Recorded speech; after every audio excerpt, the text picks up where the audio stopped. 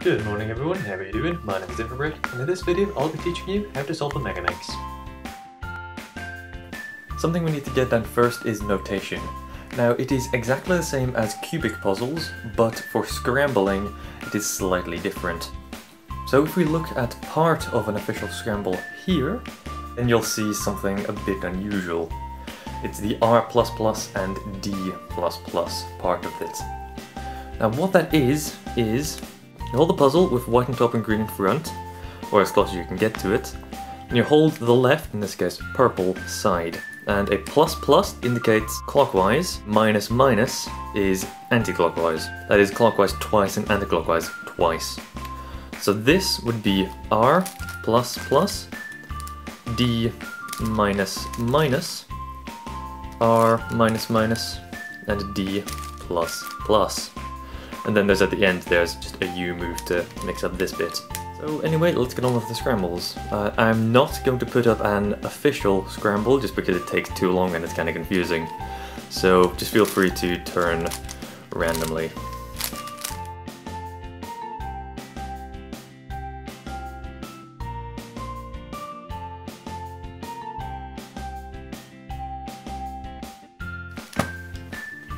So you should have something that looks like this. Absolute madness and absolute beauty. So the first step in solving a Megaminx is somewhat similar to solving a 3x3, which is getting a cross on one side. I have to get these five edge pieces in their proper position. Uh, I see this red piece here, could go over there.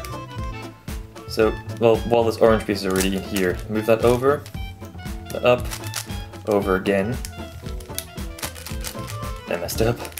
So we have orange here and red there.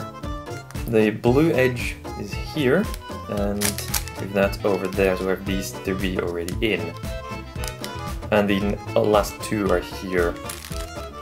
Uh, purple is right there, move that in, and green is in the back here.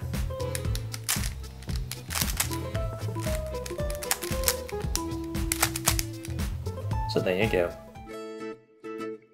Now the next step is, again similar to 3x3, it's getting the first two layers in. Now you can either have a pair here, that's already matched up, and put in both uh, at the same time, or put in a corner, like that, and then put in, and then put in the edge like, like this. Either way, it's not important, you have to get those two in. Doesn't matter how you do it. I'll do one more and then two here. Doesn't really matter how you do it. This corner is already in, so I'm just gonna quickly look for the edge. It's back here. That over. Now put this edge in here. Like that. Got two more to do, then that's done. Then there's a corner here and an edge here. You can, as I said, do them separately. One more like that. And now the last one is right here and in the back here. I'm going to bring them together and then do that to match them up. And there you go. Our first two layers entirely done.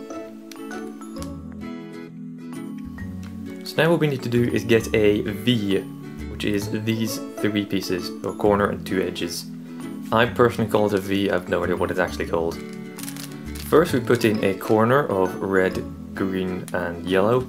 It's need to be in this order, just a corner. Then we have one of the two edges next to them, like that. Then what we do is move this over, and then insert the final edge, which is here, they're just like beginner's method on 3x3. Yeah, like that. So we'll do this once more and then I'll just skip the other three. Have one corner, needs to go in here. Like that. Then either one of these two edges goes at the side. And there's one here. You don't need to do that, it's what I prefer. Anyway, then we have that and move it over. I put this in just again like a beginner's method. Bam, bam. That and move it back down. Do that, but very small. Now we have all five of these in, it's time to move on to F2L again. So it's basically just this again. It's as simple as that. We have a corner and an edge we need to match up. Like so. And then put into their proper place. I'm gonna say this again. Uh, you can also just put in a corner first and then an edge. It does not matter, you just need to eventually have them together. first we have to get all five edges flipped correctly, just like on 3x3, then we worry about everything else. So in this case, we have one edge flipped, and just so you know, you will always have one edge flipped. So this is just like this case on 3x3 where you have no edges flipped. So what we need to do is hold it here, specifically, in the left side, then to do F, R U prime, R prime U prime, F prime to have three edges like that. Then this case is much similar like this one where you have two edges flipped in a triangle. So here, then do that. There you go, all five edges flipped. So now we go to edge permutation. This is a very easy step and it's an algorithm you already know. It's a Sune. What we need to do is first find one edge that's already matched up with its center or you can just move one over like here, doesn't matter, just need to get one like there. then do Sune.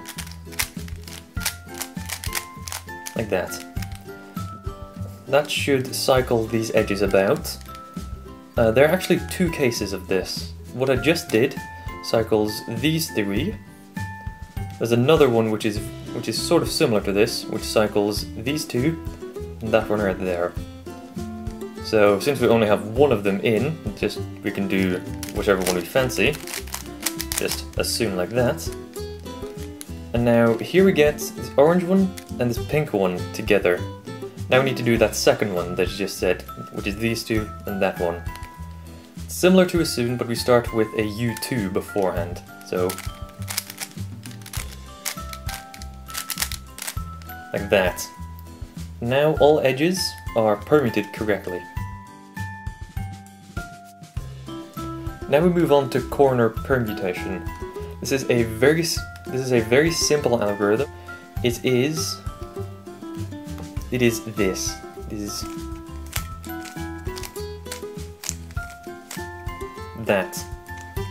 But the one thing we're changing with here is instead of doing a U, we're doing a U2, keeping the same direction. So what this does is it cycles these three corners here and leaves these two uh, solved. So that's why we need. That's why in this case we have these two which are already solved. So so we're just doing that.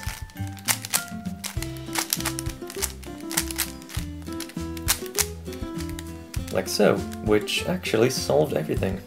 Pretty neat.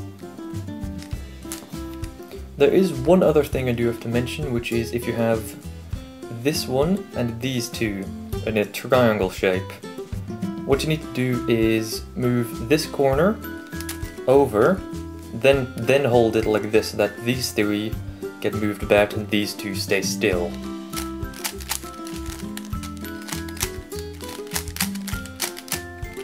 Now this one is not solved, so we just do it again.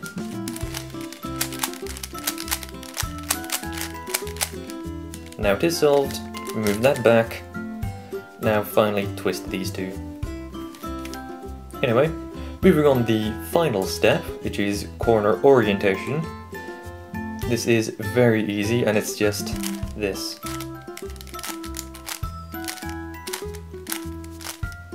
That, twist that one, then move any others in place, and continue. Last one.